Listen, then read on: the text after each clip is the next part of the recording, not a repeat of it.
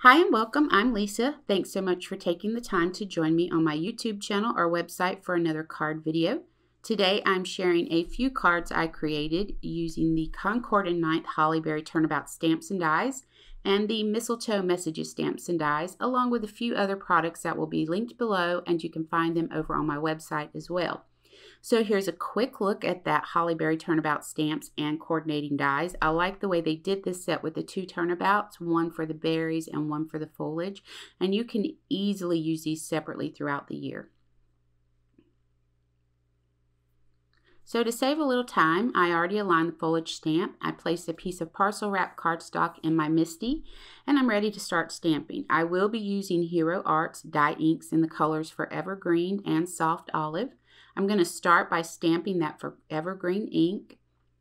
And you'll notice I'm stamping the images at least two times just to make sure that I get a nice solid stamped image. I'm going to turn my paper one turn to the right and then I'm going to stamp with that soft olive ink. So now I'm going to continue alternating the colors with each turn of the paper. And I will be stamping two 6 by 6 pieces of this parcel wrap cardstock. Here I have my berry stamp aligned on the alignment aid that comes with this stamp set and I'm going to lay a jig into my MISTI and line the X on the alignment aid with the X on the jig. I'll link a video at the end of this video to show you how to set up the turnabout stamps or you can head over to the Concord and Ninth website where they have lots of helpful information. So once I lift the stamp with the lid of the MISTI, I'm going to remove that alignment aid. I'm going to Make sure there are no bubbles underneath that uh, stamp. And then I'm going to place one of the 6 by 6 pieces of parcel wrap cardstock into my MISTI. I'm going to be using Hero Arts Unicorn Pigment Ink to stamp the berries on this panel. A few quick tips here. Be light-handed when using the unicorn ink because the pad is very spongy. And I take care to not apply too much pressure to the lid of the MISTI. Um, I just lightly run my hand over the lid. If you press too hard down on the lid, it will cause your ink to mushroom.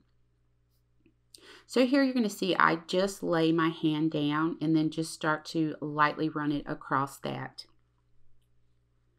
Another thing to remember is that this is pigment ink, so it takes a bit longer to dry, so just be careful while you're rotating your paper.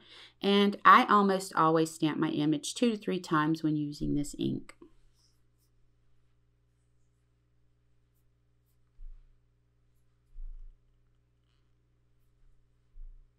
So I also stamped the second panel and I'm going to use the traditional Christmas colors of red and green on that second panel. So I use Hero Arts uh, Red Royal dye ink to stamp the berries on that second panel.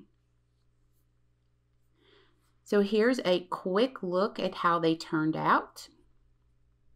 I think I like the white berries better than the red berries. I do really love the white and green with that craft paper. It's very pretty. Okay, so now I'm ready to do some die cutting and I'm going to be using the Holly Berry coordinating dies and the Mistletoe Messages coordinating dies. I'm going to use that Holiday Bliss and a Mistletoe Kiss sentiment on my card. And I'm also going to be using Concord and Ninth's neutral glitter paper pack and their neutrals foil paper pack. So I'm loving this glitter and foil paper packs. It's just convenient to have a few neutrals on hand in a 6x6 sheet. So here I have the pearl glitter paper that I'm going to add Hero Arts Forever Green ink to. I'm using an ink dauber to apply the ink because the paper has a bit of texture to it and you'll see me dabbing the ink instead of rubbing it on.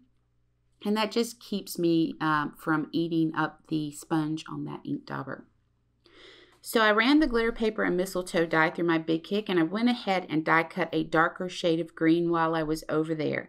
And by using this darker green behind that glitter paper, it helps it stand out a little bit more on that craft paper. Plus it's going to give us some dimension to our card. I will be adding some foam circles to the back of this to pop all that mistletoe up so it does add a lot of nice dimension when you have a couple of layers there. Okay, so I'm going to set this to the side for now because I want to assemble the cards all at one time and I do have a bit more die cutting to do. I did go ahead and die cut that um, Season's Greetings die out of the gold foil paper and I die cut the label using red cardstock. Now I'm die cutting the leaves using that dark green cardstock and the foil paper and I do add some ink to those dark green die cut leaves.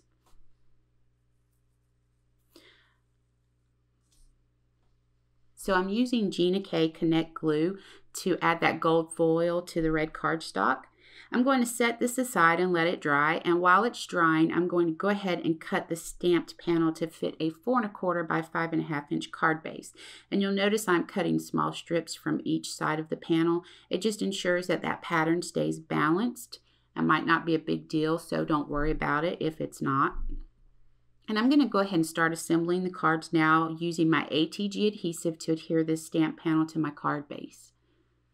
After that, I'm going to use 3D mounting foam to back the red and gold label. I'm going to remove the paper backing from the foam and cut a piece of twine. So I'm just letting this twine loop around on itself, falling on that mounting foam and allowing it to stick to the mounting foam. And then I'm going to arrange all the leaves that I die cut around the back of that red label and I'm going to stick them to that mounting foam also. And because I have the twine and leaves uh, to that first layer of foam, I'm going to add a second layer. And that's just going to ensure that the twine and leaves stay put and that this beautiful season's greeting sentiment stays on the front of our card base. So now this is my favorite one out of the two and I'm going to go ahead and die cut some berries using that pearl glitter paper.